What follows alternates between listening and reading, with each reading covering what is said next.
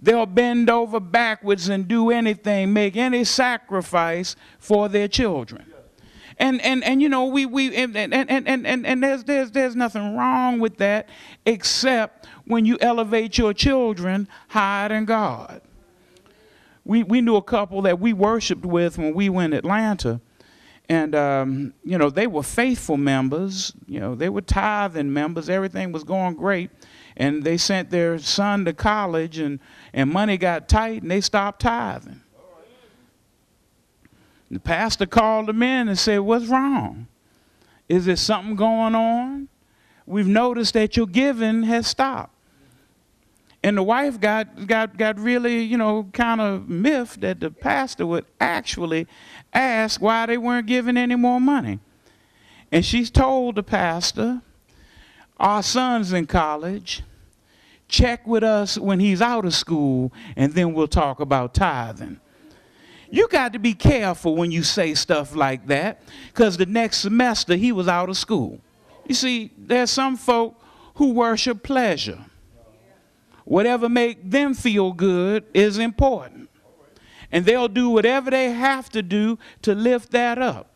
Whether it's eating stuff you ain't got no business eating or running around and looking in folks' faces that don't mean no good for you. They end up getting distracted then there's some folks who end up worshiping their different pursuits. Either their careers, their educations, their social network. They got time for all of that, but they don't have time for God. Then you got to understand that the world that we live in, the spirit of the world that, we're, that we live in, is not conducive to worship the God of this age is, is trying to distract us. And we got so many ways to distract us. Turn on your TV. If you got satellite or cable, you got 100 channels to choose from. Children can't believe that we existed at a time when folk only had five channels.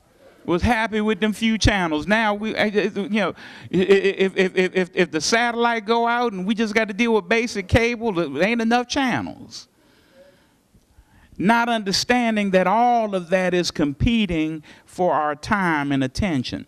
The internet, we get so wrapped up on the internet because you can find anything on the internet before you know it, two, three hours then went by. We even spend so much time and effort on, on these time saving events. Everybody got a microwave in their kitchen, but yet folk don't cook we don't understand that the spirit of this world puts pressure on us to be distracted from that which God will have you to do. So, so we have all these external things that we had to deal with that are hindrances to worship.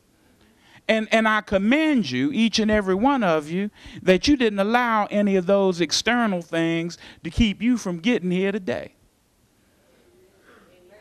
You could have easily looked out there and say, well, you know, the Lord understands it's snowing. You could have easily said, well, you know, I worked overtime this week. The Lord understands. We, we could have easily said, well, you know, I just don't feel up to it. The Lord understands. But, but you all didn't do that. You, you decided to come to worship the Lord in spirit and in truth. So, so you know, you, you got around those external uh, forces. That is, those things outside of the house that could have prevented you from getting here. But then you get in the house, and then you got to deal with the fact that there's some hindrances to worship all around us in here. You know, somebody talking, somebody passing notes, somebody unwrapping candy paper we get distracted by all of this stuff that goes on around us.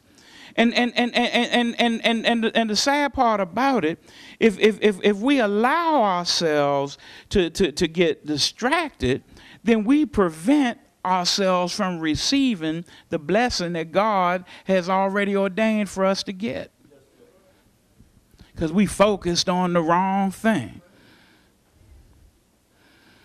Then we get uh, uh, uh, uh distracted and discouraged about people. Because everybody in here is struggling to be what God wants you to be.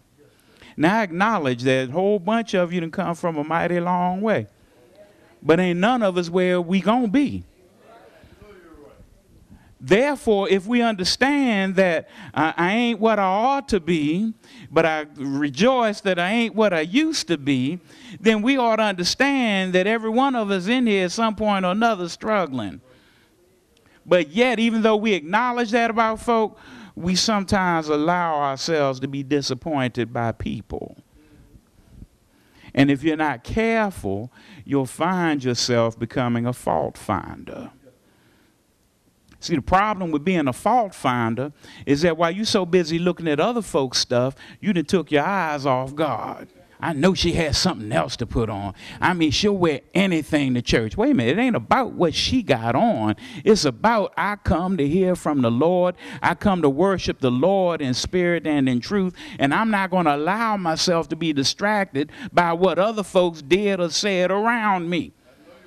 They struggling just like I'm struggling. They, they, they got stuff they got to deal with. And, and when I put myself in the position of fault finder, I have elevated myself to the point that I don't need God. You know, I done elevated myself to I'm, where I'm going to be a gatekeeper.